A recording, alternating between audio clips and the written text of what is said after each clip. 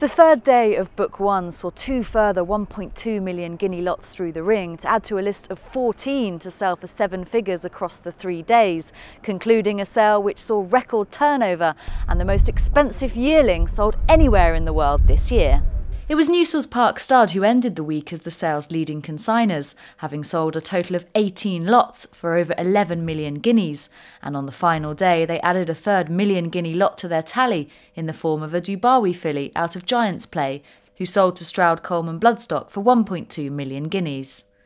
Uh, well, we got involved with the family some years ago. John Warren actually bought um, the dam as a yearling, and we raced her successfully. She was firstly with Sir Michael Stoute and latterly went to America. She was a Grade 2 winner over there. Um, she's had a few foals for us and they've done well. We like the idea of Dubawi. She's got a nice Dubawi three year old with uh, Charlie Appleby and a two year old that Cheveley Park bought here last year. That's one one recently a couple of weeks ago.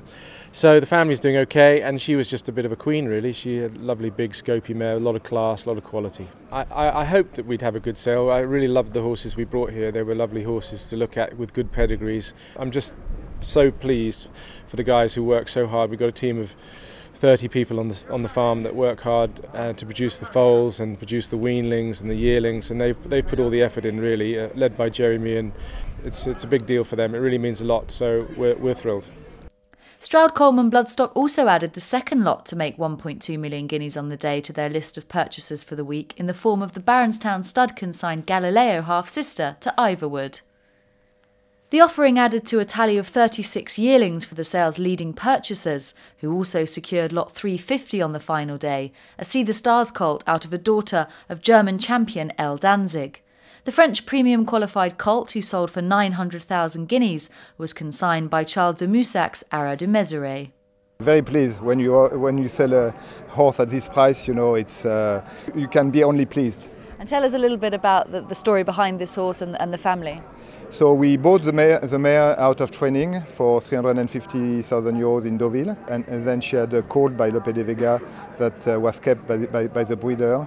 And this colt, uh, in the spring, it, it was not very uh, much forward. So when uh, Arqana came for, for the selection, they did not uh, take him. We gave him a lot of time, and uh, since August, the, the, the colts changed a lot when he took the sales preparation, and it's great. We, we, we, achieve uh, much more than we, we thought he was going to make. A lot of people uh, around here in, uh, in Tattersalls, international market. So, you know, if you have the right horse, uh, you, you, you, you get a good price for him. Sheikh Hamdan Shadwell stud also enjoyed a busy three days, signing for a total of 16 lots, including a Meon Valley stud consigned Invincible Spirit colt on the final day for 900,000 guineas. The colt, out of half sister to Group 1 winner Izzy Top, held obvious appeal for the operation, who had to see off stiff competition for the well bred colt. Pleased with that? Pay more than you thought you might have to, or about right? Uh, certainly paid more than I thought, Gina, because uh, he, quite an immature horse from a probably a late maturing family.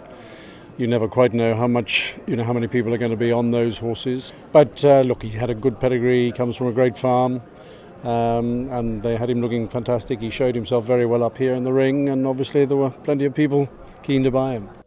A new record for turnover registered this week was achieved in large part thanks to the strong presence of some of the world's leading international purchasers. It's a very busy week. Got here on Thursday, started looking Friday, and the stock are tremendous. The selection is fantastic. The best grass horses in the world, the best stallions are here, the best female pedigrees are here, and um, I mean the catalogue is very, very deep. And uh, if you look at enough horses, you're going to be able to find opportunities. Obviously, it's very difficult to compete on the top 5 10%, but underneath that, there are a lot of nice horses that fit very well in the American grass racing program. The last two days, it's been very hard. You know, you've got all the big players here, you know, Darley and Coolmore and everyone else. You know, we managed to go head to head with some of the horses, but you stick to the budget and, and you go from there. Well, the quality of horses are always good here, and Tattersall sells good Galileo, Dubawi, the best stallions in the world. So, you know, if they can be a champion over here, why not? At the conclusion of another record breaking sale, Tattersalls marketing director Jimmy George reflected on the week's trade. It's been another fairly extraordinary book one of the Tattersalls October yearling sale. I mean, looking back only 12 months, it, the book one sale in 2017 was unbelievably strong. Turnover went up from 88 million to 102 million. And genuinely, we thought it would be an awful long time before the sale managed to attain those sort of heights again. But this has been another record. It's 106 million in turnover for, for over the last three days, and uh, that's pretty extraordinary. It's the seventh consecutive year that Book One of the October yearling sale has achieved record turnover, and as recently as 2011, the turnover was 51 million. So these are pretty staggering rises. It shows the sustained demand for the very best bloodstock out there, and that's what book one of the Tattersalls October yearling sale is all about.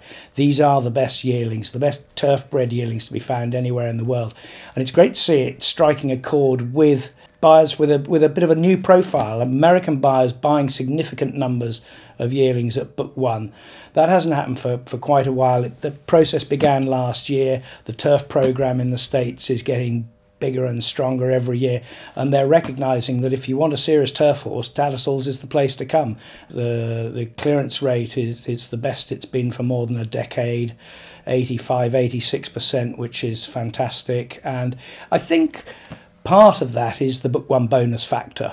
There are people coming to book one of the October yearling sale now, enticed by the prospect of winning 30, 35, 40,000 pounds for winning their maiden, which you can't do if you go to any other yearling sale in Europe. So it's it's brought in a sort of new dimension to the sale and, and added greater depth. The book one bonus has made it clear that there's something for everybody at this at this sale, and uh, it's added a, as I say, a new dimension what was extraordinary this year is the number of hugely significant catalogue updates for some all very all, already very well bred uh, yearlings, and, and actually the two top lots are cases in point. So the Galileo colt out of Shastye his own brother, Japan, won the Group 2 Beresford a matter of days before the sale. It was already an extraordinarily strong pedigree, which just got even better. He made 3.4 million guineas, another great tribute to the Newsells Park team, who year after year bring in an unbelievable uh, team of yearlings to the sale. And the Watership Down stud colt, the, the Dubawi own brother to Too Darn Hot and Lah Ti Dar. Since the catalogue was printed, obviously Lah Ti Dar was placed in a classic, and, and the the, the, the two year old brother went from being an unraced two year old in the catalogue page to to an unbeaten Group Two winner. So these things have huge significance, and uh, again, those both those farms, Watership Down and Newsells Park, are, are regulars at the top of the charts, and it was great to see it again this year.